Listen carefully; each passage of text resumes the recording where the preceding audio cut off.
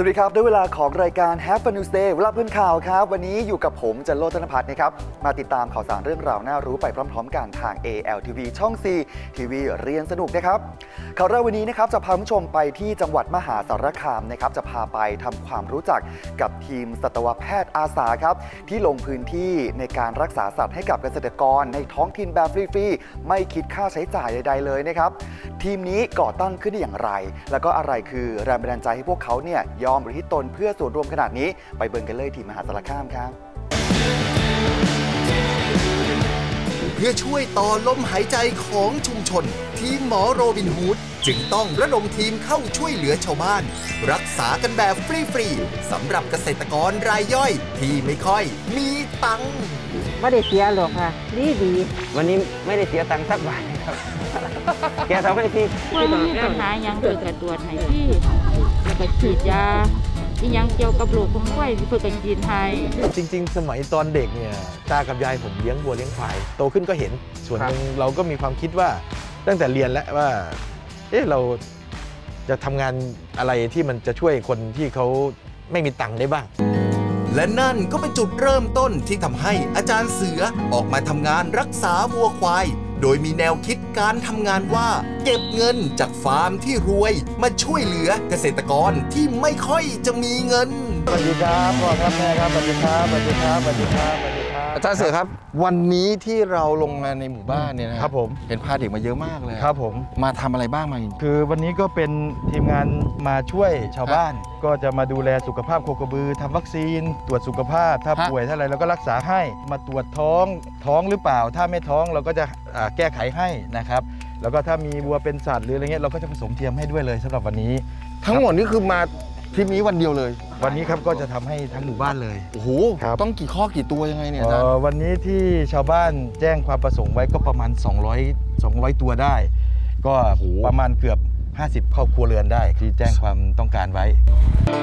ซึ่งงานนี้ทีมสัตวแพทย์อาสาต้องกระจายกันออกไป ทั้งฉีด เจาะ จิ้ม ทิ่ม ล้วง แล้วแต่อาการของวัวแต่ละตัวละครับ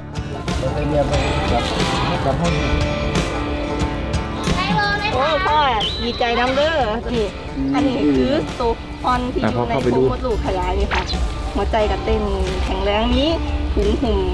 สมบูรณ์ค่ะ ซึ่งบางเคสก็เล่นเอา เข็มบิด เข็มงอ จนมือหมอของเราได้เลือดเลยก็มี ตอนเราทำจิตอาสาอย่างปีที่แล้ว เราก็มีช่วงลำปี้ระบาดต่างๆเงี้ยเราก็รักษาฟรีเลยช่วงนั้น ก็ปล่อยทีมงานออกไปก็ แต่ก็ไม่ใช่เงินผมคนเดียวนะ ผมก็ไปขอคนนั้นคนนี้มา ขอสปอนเซอร์ขอสปอนเซอร์พี่ครับ พี่มีตังค์เยอะพี่วันนี้มีตังค์เยอะก่อนนะช่วยผมหน่อย ใจเราอยากทำอะแต่เราไม่มีตังค์อะเรามีอยู่ประมาณนึงมันมันทำได้แค่นี้เพราะมันก็ต้องซื้อวัคซีนซื้ออะไรโอ้ก็ต้องซื้อยาซื้ออะไรช่วงยานั้นขาดแคลนด้วยโอ้ครับกว่าแล้วทุกอย่างก็แพงขึ้นนะฮะ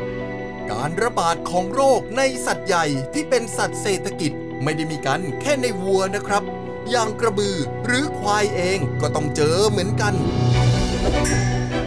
ที่นี่บ้านวังจานอำเภอโกสุมพิสัย ชาวบ้านต้องพาควายมาตรวจสุขภาพสัตว์กันเอาไว้ก่อน เรียกได้ว่าทั้งฉุด ลากกระชากจูง หรือแม้กระทั่งขนใส่รถยนต์มาก็มีนะครับ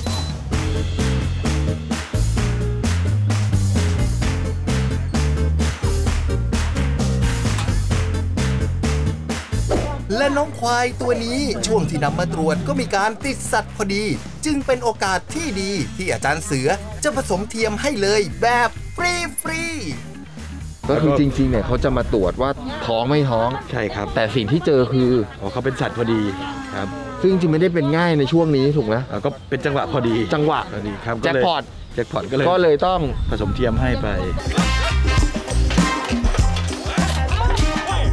เกิดตัวอ่อน ที่อยู่ข้างในพร้อมค่ะ นี่เป็นการเลี้ยงที่เราได้รับเอาเรื่องของเทคโนโลยีหรือว่าทางวิชาการมาช่วย ฮะ ผมก็รู้สึกว่าพี่น้องได้รับโอกาสที่จะได้มีการพัฒนาสายพันธุ์ก็ดี หรือฮะว่าโอกาสที่จะได้รู้สุขภาพของสัตว์เลี้ยงก็ดี พวกเนี้ยถูก มันเป็นสิ่งที่จะไปปรับใช้ในการที่จะประกอบอาชีพในการวางแผนอ่าฮะ ในการพัฒนาใช่ ในเพราะเรื่องของ การเพิ่มมูลค่าของสัตว์เลี้ยงด้วย สิ่งที่เราได้อยู่แล้วก็คือความภูมิใจอืมสิ่งที่เราเห็น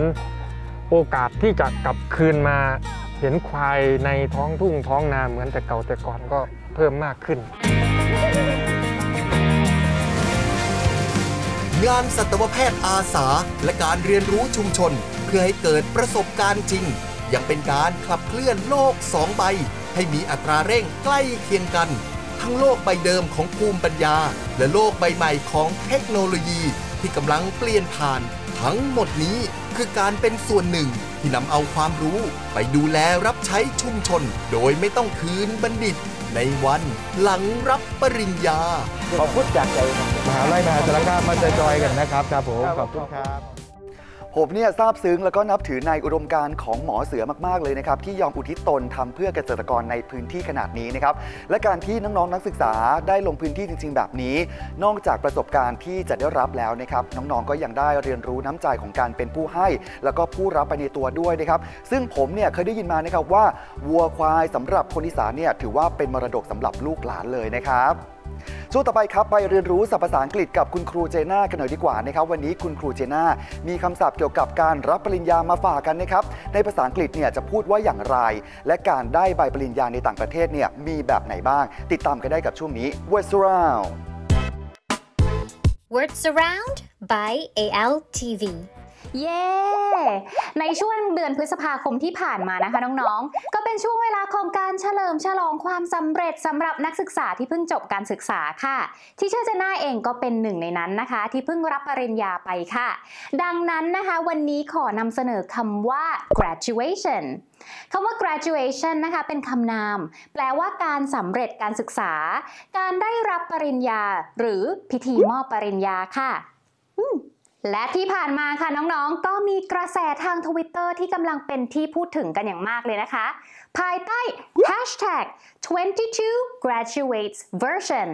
และ congratulations Taylor โอเค เนื่องจากว่าซูเปอร์สตาร์นักร้องชื่อดังอย่าง Taylor Swift ค่ะ ก็ได้รับปริญญาเช่นกันนะคะ แถมยังเป็นปริญญาเอกซะด้วย น้องๆ คะ เรามาดูประโยคตัวอย่างนี้กันเลย Taylor Swift received an honorary doctorate degree from the New York University. Taylor Swift ได้เข้ารับปริญญาดุษฎีบัณฑิตกิติมศักดิ์จากมหาวิทยาลัยนิวยอร์ก น้องๆ คะ Taylor Swift never studied at NYU Taylor Swift ไม่เคยเรียนที่ NYU ค่ะ แต่ทางมหาวิทยาลัยนะคะ ก็มอบปริญญาให้เทเลอร์ค่ะ เนื่องจากเป็นบุคคลที่มีความรู้ความสามารถตามที่สถาบันศึกษากำหนด นั่นก็คือ honorary doctorate degree ซึ่งก็คือปริญญาดุษฎีบัณฑิตกิติมศักดิ์ก่อนถึงวันงานนะคะ Taylor Swift ค่ะ ก็ได้ลง TikTok นะคะ โดยกล่าวว่า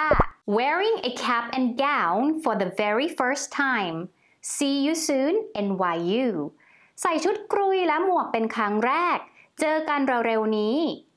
น้องๆ คะ ชุดรับปริญญานะคะ หรือว่าชุดกรุยค่ะ ภาษาอังกฤษก็คือ graduation gown ในวันงานนะคะน้องๆ Taylor Swift ค่ะ ก็ได้เป็นตัวแทนนักเรียนนะคะ กล่าวคำปราศรัยด้วย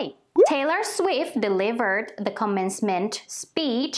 to the class of 22 Taylor Swift กล่าวคำปราศัยในวันรับปริญญาให้กับผู้สำเร็จการศึกษาปี 2022 teacher ขอแสดงความยินดีกับบัณฑิตทุกๆ คนด้วยค่ะ พบกับ teacher เจน่าอีกครั้งนะคะ ในช่วง Words Round see you next time ค่ะน้องๆ บ๊ายบาย yeah วันนี้ก็ได้ศัพท์ภาษาอังกฤษใหม่ๆ จากคุณครูเจน่าไปเยอะเลยนะครับ ยังไงก็อย่าลืมทบทวนแล้วก็ฝึกใช้ในชีวิตประจำวันกันบ่อยๆนะครับเพื่อในวัน graduation ทั้งของตัวเองแล้วก็ของเพื่อนๆ จะใช้ได้อย่างถูกต้องนั่นเองนะครับ แล้วก็ครั้งหน้าเนี่ยคุณครูเจน่าจะมีคำศัพท์อะไรมาฝากกันอีกต้องรอติดตามกันนะครับ